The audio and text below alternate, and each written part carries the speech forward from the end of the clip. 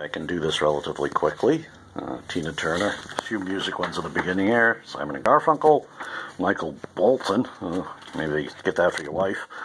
And let's see, that's an old one. I'm not even sure. Uh, Robert Mitchum. So that one doesn't ring a bell. Um, nine months. Hugh Grant, funny movie, up close and personal. Steel Magnolias, Truth About Cats and Dogs, and the truth is cats stink, dogs rock. Uh, Keanu Reeves, Speed, that was a pretty cool one. Um, almost all of these have some kind of a sleeve. I do have some extra ones also. 007, Strange Days, if you don't remember that one, Juliette Lewis. Um, anything she's in is usually awesome. Broken Arrow, Travolta out of Africa.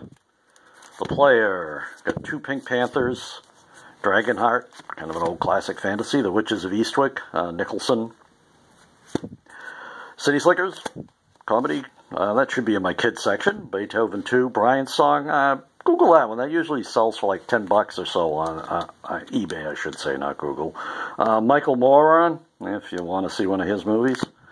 Uh, the First Wives Club, something to talk about. Notorious. Crimson Tide, that should be in the kids section too. Tibet, funny movie. Mel Brooks, there's several Mel Brooks in here. Hanks, several uh, Monty Pythons, Life of Brian, Holy Grail, perhaps the funniest movie ever. And I'm going to stop halfway through so I can move the pile that's going to knock me to the floor in a second.